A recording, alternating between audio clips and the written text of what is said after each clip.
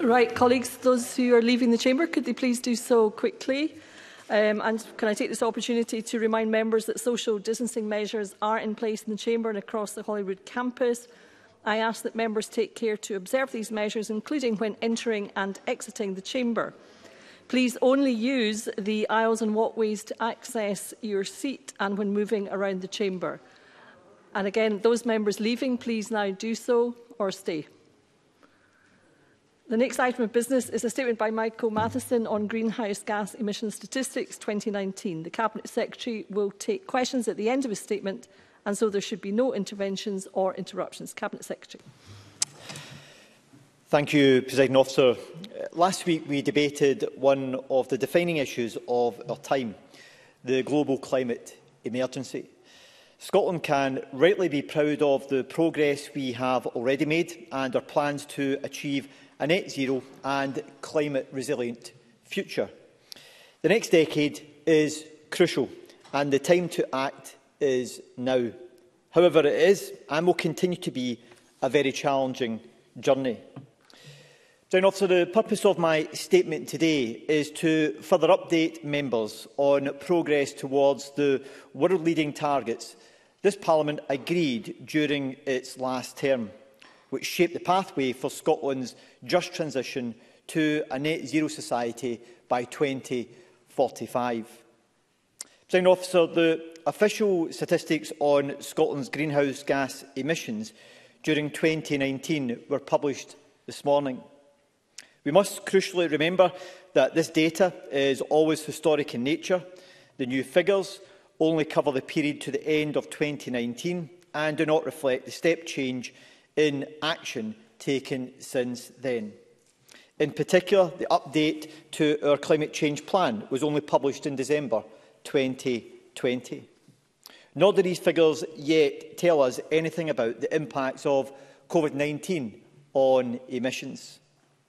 On the statutory reporting basis set out by Parliament, through the recent Climate Change Act, Scotland's emissions during 2019 were down by 51.5% since the 1990 baseline. This clearly falls short of the annual target of a 55% reduction. Whilst it is undoubtedly disappointing that the annual target has not been met, the figures do still show good progress. Emissions fell by 2.3% between 2018 and 2019. We continue to outperform the UK as a whole in delivering long-term reductions, and crucially, we are now over halfway to becoming a net zero society. We should be proud of the steps taken so far, but also recognise there is a long way to go. The Parliament has quite rightly, set truly world-leading climate change targets. It's easy to overlook the fact that our economy-wide targets for every year in the 2020s and 2030s are the most stretching of any country in the world. There can be no question over Scotland's ambition here, and this government is fully committed to rising to that challenge. Our updated climate change plan, the effects of which, as I've said, are not yet reflected in today's figures, include over 100 new policies to accelerate progress and is supported by a record £1.9 billion of capital funding in 2021-22 to tackle climate change and to create good green jobs This policy package reflects our understanding that more needs to be done and represents a credible pathway to meeting the increased ambition of Scotland's targets over the period to 2032. Our attention is firmly on implementing and delivering these policies to achieve real, on-the-ground changes in emissions, as well as the wider benefits for our economy through green jobs, for our society through improved health and well-being and outcomes, and for our environment. This will be vital to delivering the green recovery from COVID-19 we want to see. And we're already making progress. Provisional figures for 2020 indicate that the equivalent of 97.4% of gross electricity consumption was from renewable sources. In 2019, the whole life carbon impact of Scotland's household waste reached its lowest level since official records began. We now have hydrogen buses on the streets in Aberdeen and Dundee, and we're building the UK's largest electric vehicle charging hub in Glasgow. We are seeing an influx of young talent to Scotland's forestry sector through the grow, uh, growing, growing Rural Talent Initiative, Uh, we're seeing farmer-led groups uh, who are looking at low-carbon farming practices, and we are providing long-term investment in peatland restoration. We're giving 75% cash back to households for eh, zero-emission heating, as well as interest-free loans to purchase a new electric car or motorcycle. And we want to go further. We'll phase out the need for new petrol and diesel cars and vans, and heat 1 million homes with zero emission technologies, both by 2030. Meeting Scotland's world-leading emissions targets to reach net zero by 2045 lies at the heart of our response to the global climate emergency. However, as we debated last week, the response is also much more than this. The manner in which emissions reductions are achieved is every bit as important as the reductions themselves. We've committed to implementing the recommendations of the Just Transition Commission and will respond fully later in the summer to this. Our recognition that climate change is a social justice issue is also reflected in the doubling of our pioneering International Climate Justice Fund – and our position as co-chair of the Global Under 2 Coalition. Second officer, it also cannot go unnoticed that Scotland's ability to deliver a green recovery and reach our targets is very much dependent upon action from the UK Government in areas that unfortunately remain reserved. This is something that the Independent Climate Change Committee has been clear on. As well as reducing our emissions, we are also preparing for the locked-in impact of climate change here in Scotland, including the risk to our precious biodiversity. We are investing in climate resilience as part of a green recovery from COVID-19, with an extra £150 million for flood risk management over this Parliament. This all forms part of our integrated response to the global climate emergency. Of course, a global challenge also requires international collaboration. It is now less than five months until the UN's landmark climate conference in Scotland. COP26 represents the world's best chance to deliver a global deal that supports the goals of the Paris Agreement and delivers lasting action towards net zero and climate resilience, resilient future in a way that is fair and just.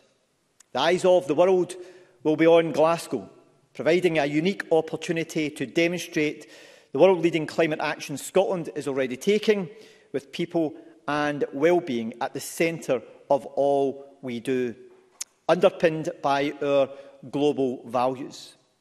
We'll also be listening to and learning from others as we all work to turn commitments into national and local action. Design Officer, we know that we have taken on a huge challenge with such ambitious emission targets. It is imperative that we in government and all of us in this chamber continue to challenge ourselves to do even more in order to meet those targets.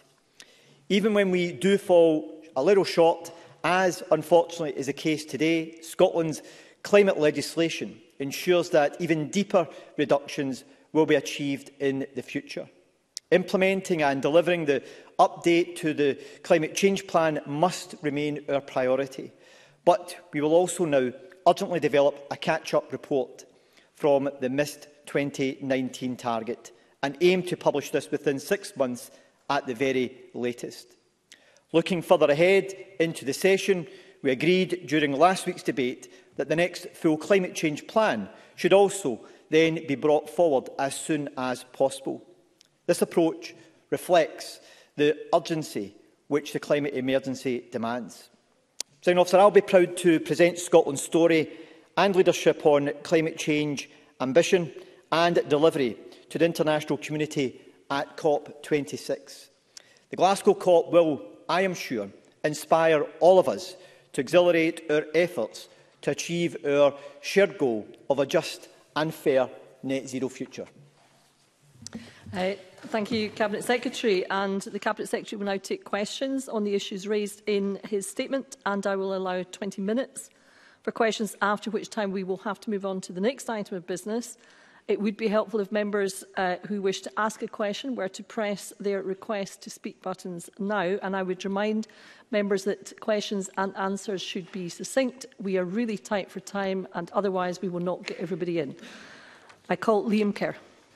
Thank you, Presiding Officer. Presiding Officer, the Scottish Conservatives believe few things are as urgent as tackling the climate emergency and preventing its disastrous consequences for people all over the world.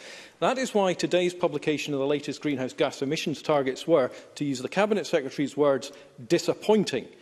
I think it's much more serious than that, because yet again, This SNP government has missed its own statutory target for reducing emissions. The Cabinet Secretary mentioned numerous actions about what is being done, but we're already seeing schemes fail. For example, just this week, there were reports that retrofitted eco-buses could still be banned from low emission zones for breaching pollution laws. That's potentially £10 million pounds of public money wasted. So that's the first question, presiding officer. What is the Scottish Government's response to this and how will it be rectified? And secondly, time and time again, in portfolio after portfolio, be it health, justice, education, now this, we see this SNP government put statutory targets in place which are then missed, then blame others for that failure. And despite what the Cabinet Secretary says, the legislation clearly doesn't ensure reductions. So can the Cabinet Secretary tell me what sanction or penalty is applied for failing to hit statutory targets and to whom? And going forward, how will this government not just promise to hit these targets, but actually ensure they are achieved? Cabinet Secretary. Uh, thank you, President Officer. I'm uh, grateful to Liam Kerr for his question. I am particularly pleased to hear that the Conservatives place such importance on the issue of tackling climate change.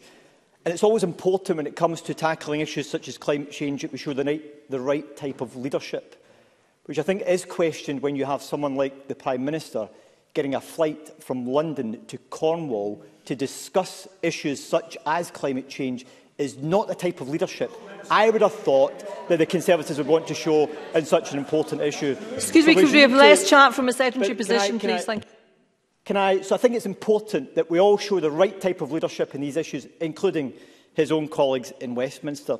Let me turn to the points he's eh, made in relation to the retrofitting of buses and the technical issue that's been identified some of the, the, eh, the equipment which has been deployed for some of the buses uh, in, in Glasgow in particular, which is presently being investigated in order to look at addressing that uh, programme through the BEAR programme and to uh, deal with the technical issues that have identified through that. But equally, the member would also recognise that the largest bus charging infrastructure is presently being constructed in Glasgow in order to deploy the biggest amount or the largest amount of electric buses in any city in the country uh, as a result of the direct investment we're making as a government in our Scottish ultra-low emission bus fund. Not only helping to get more zero-emission buses on the road, but also helping to support vital companies such as Alexander Dennis's based in my own constituency, who are world leaders in this technology and supporting them during, during a very difficult time a commitment that has not been matched by his counterparts in Westminster as yet, which I know has disappointed the, way, has disappointed the bus industry as a whole. In relation to the statutory targets, which were set by Parliament in the legislation, what's very clear now is our requirement to bring a catch-up plan, which I set out that we'll do in the next six months, identifying the measures which will take place. But I know the member is new to the portfolio, but he'll also be aware that we published our climate change plan update in December last year that sets out 100 additional measures and actions that we will take in order to drive forward our commitment to meeting these targets. And that's exactly what we are determined to do to make sure that Scotland becomes a net zero country by 2045. Monica Lennon. Thank you, Presiding Officer. I thank the Cabinet Secretary for advance sight of the statement. It is disappointing that the Scottish Government has again missed its targets for reducing greenhouse gas emissions. With Glasgow hosting COP26 this year, we all want Scotland to live up to our ambitions and set a good example globally. So today is a wake-up call to get our own house in order, and we're all new to the portfolio, so hopefully we can work together um, on that. We welcome the commitment to a catch-up plan Plan Cabinet Secretary. Indeed, Section 36 of the Climate Change Act requires the Government to produce such a report and lay it in Parliament so that MSPs can scrutinise policy and proposals.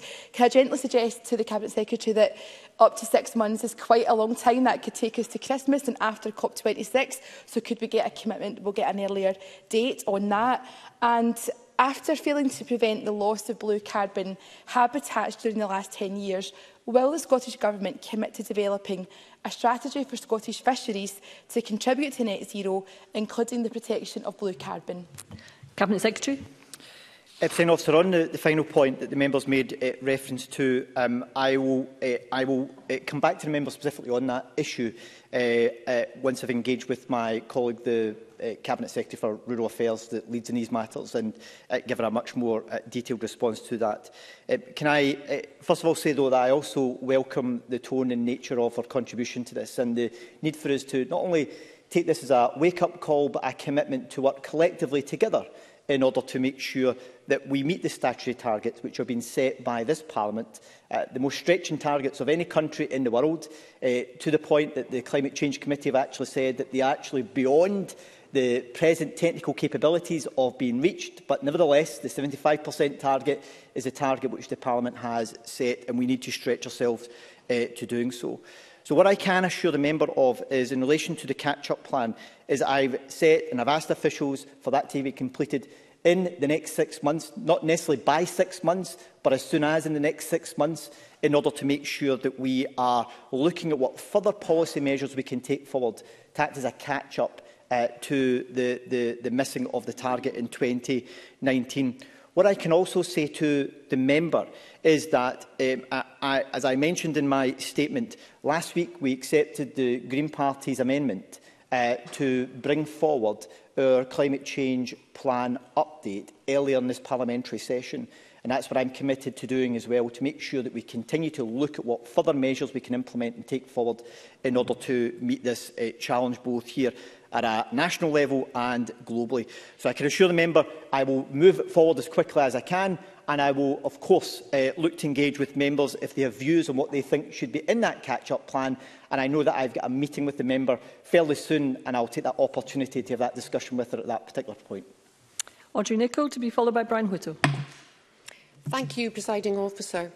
Can the Cabinet Secretary outline what he expects to see in the UK Government's net zero strategy, given, as he highlighted, our ability to reach our targets is dependent on action from the UK Government, since we don't yet have all the levers at our disposal? Cabinet Secretary. Well, President Officer, our uh, ambitious uh, climate change plan update does contain a number of asks of the UK uh, Government, including on fiscal levers, uh, the future of the gas, gas grid and also on hydrogen.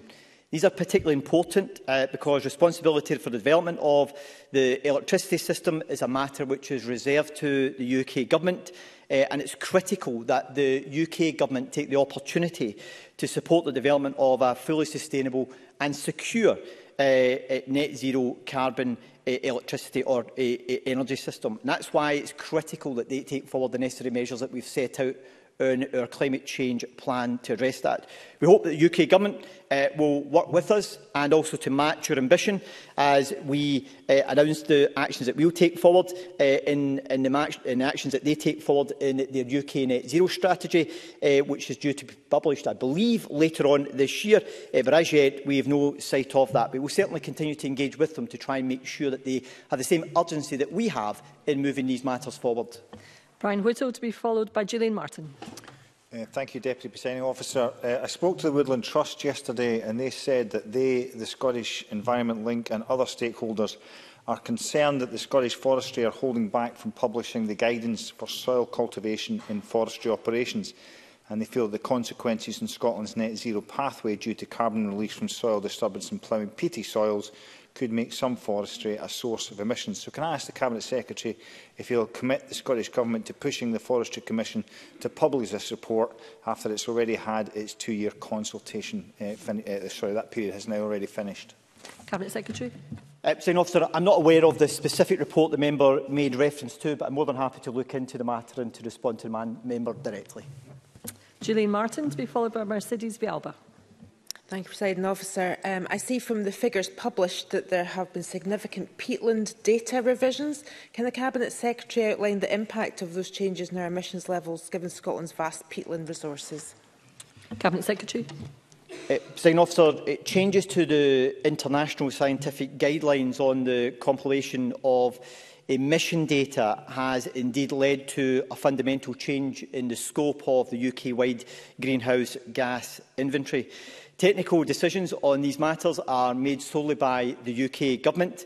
The latest data uh, includes, uh, for the first time, the impact of historical drainage and rewetting of peatlands. This is particularly important for Scotland and has acted as a significant, uh, as that has resulted in a significant increase in our reported emission levels across all, uh, uh, all time periods uh, with an additional 9.4 megatons added to our 1990 eh, baseline.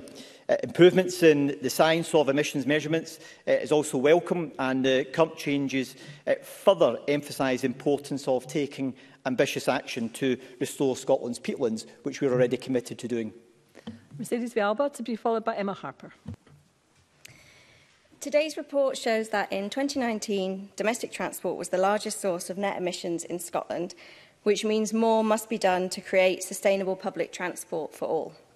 It's Scottish Labour's ambition to create a net zero, publicly owned, universal free bus service for all, which is why we led on legislative change to lift the ban on local councils running their own bus services.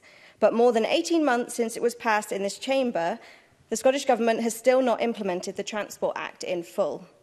So can the Cabinet Secretary tell us by what date the Transport Act will be fully implemented? Cabinet Secretary.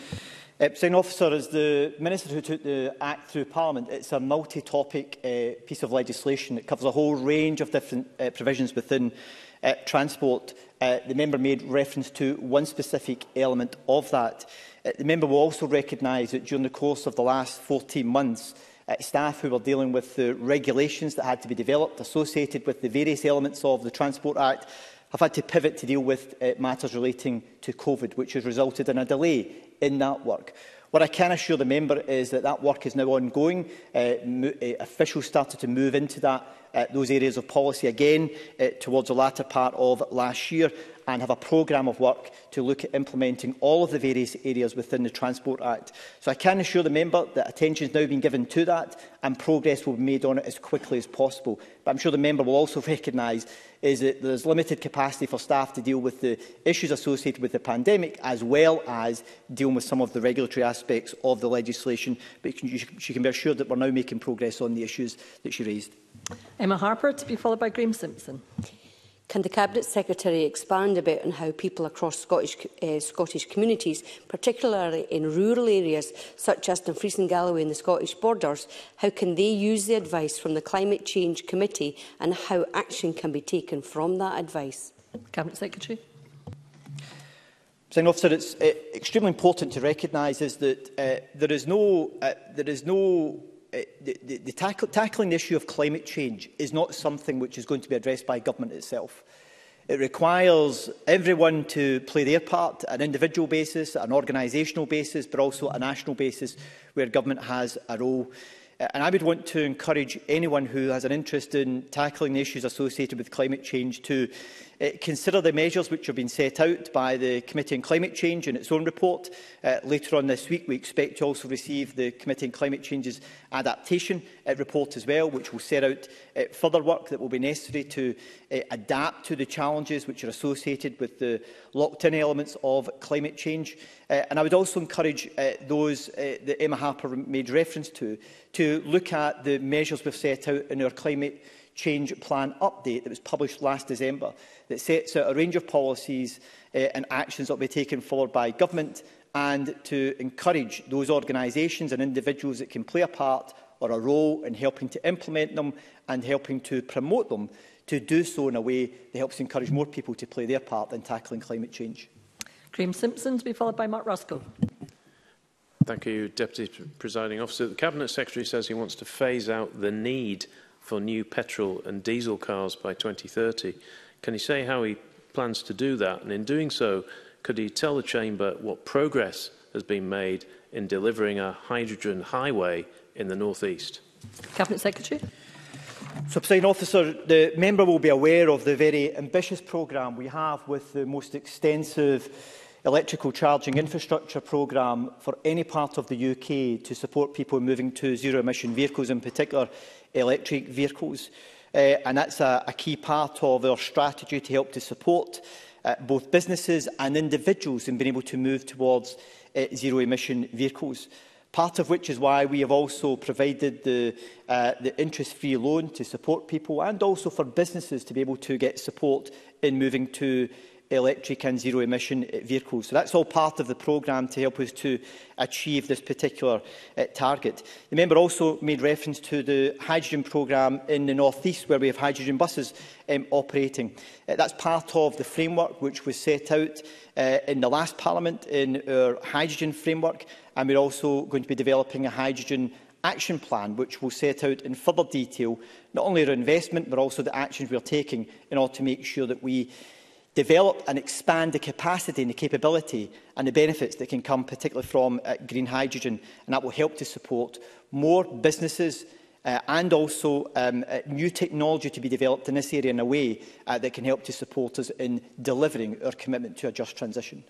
Mark Roscoe to be followed by Jim Fairley. Thanks. Um, three years of missed targets showed that we do need that transformative step change, but we've already seen what's possible with renewable electricity, where this country's taken a great lead within the UK. But on renewable heat, the statement talks about a million homes needing to switch over to green heating by 2030. That's 100,000 a year, Cabinet Secretary, and yet last year we only saw 3,000 installations in homes in Scotland. So How will the Cabinet Secretary work across the government and this chamber to fill that huge gap between ambition and reality? Cabinet Secretary. So, President Officer, there's a, a, piece of work which we're taking forward. The interim report was published fairly recently, uh, just in the course of the last week, from uh, those involved in the heat industry in looking at the measures that will be necessary in order to deliver the scale and nature of our ambition. Um, actually, I think the report was published yesterday, uh, if I recall correctly, uh, and that will be considered further in order to uh, be developed into a finalised report which will inform the approach and strategy which the government will take forward in order to deliver at the type of transition we need to see in domestic heating in particular. So I recognise and I agree with the member it is a hugely ambitious uh, target which we have set. However, The nature of the climate emergency which we face uh, determined that it's critical that we drive this area of policy forward. If we fail to do so, uh, we will not only uh, not meet, uh, uh, meet our targets, uh, but we will be failing for future generations and the climate damage which will be caused as a result. So the work that we're taking forward with the advisory group in, uh, in considering these issues will help to inform uh, the policy which we'll take forward. But I'm uh, I'm, uh, I'm keen to make sure we do everything we can to support the sector and be able to to invest and develop this sector as broadly and as quickly as possible in order to be able to achieve our ambition. And that work we're taking forward with the sector is critical to supporting us in achieving that. I can get two more members in if there are very brief questions and answers. Jim Fairley's be followed by Liam MacArthur. I'll be very brief and thank you very much, President Officer. I understand that given their historic nature, The statistics don't tell us about the impact of COVID on emissions, but we do know that lots of people switch to active travel. Can the Cabinet Secretary outline what action the Scottish Government has taken to ensure that these changes get locked in? Sign officer, the pandemic has created uh, an unprecedented pressure uh, for our transport sector, but there has also been encouraging shifts taking place during the course of the pandemic, uh, such as the reduction in commuter journeys and also an increase in cycling. And we want to make sure that we try to help to maintain these and support these going forward. That's why one of the positive initiatives that we've uh, taken forward over the course of the pandemic has been the almost £40 million pounds that we invested in Spaces for People initiative to fund local authorities to deliver temporary walking and cycling routes. And more generally, generally we are also committed to investing some £500 million for active travel infrastructure and £500 million for bus priorities over the course of the next five years. And as we uh, support uh, an increasing focus on localism through our commitment to 20-minute neighbourhoods, we also want to make sure that we build in some of the benefits that we have gained during the course of the pandemic into our future design of local communities, which is why we're also taking forward the Work Local Challenge programme to support that. And uh, Liam MacArthur. Thank you, um, Presiding Officer. Um, I, I can welcome the Cabinet Secretary's post, but this is an inauspicious start. We're nowhere near where we need to be in reducing emissions, and the government's warm words are simply making for a warmer planet. Given the particular challenge in relation to transport, where emissions are high and have not budged, will the Cabinet Secretary now take the opportunity to reverse the SNP's support for a third runway at Heathrow? Cabinet Secretary. Senator officer, um, I uh, recognise the issue that members raised and it was an issue that was debated last week and roundly rejected by uh, Parliament at the time. But can I also uh, point out to him in terms of the, uh, in terms of the transport emissions is that the update report which was published today it demonstrates a decline in transport emissions. Uh, what we want to do is to build on that. That's why we have a hugely ambitious programme of helping to support the decarbonisation of our public transport network, also the decarbonisation of our regional aviation network and also our rail network. Um, we are the only parts of the UK to make such commitments because we are determined to move these forward and to decarbonise them in order to help to support us in achieving our climate change uh, targets. So I can assure the member uh, that uh, although there has been a, a, a reduction uh, this year, we want to build on that year in, year out. And I'm determined to work with colleagues across government to make sure that we do that and that transport plays its part in helping to support us in achieving our climate change targets. Thank you, Cabinet Secretary. And there'll be a short pause to allow uh, changeover for the next item of business, including uh, in the PO's chair. Thank you.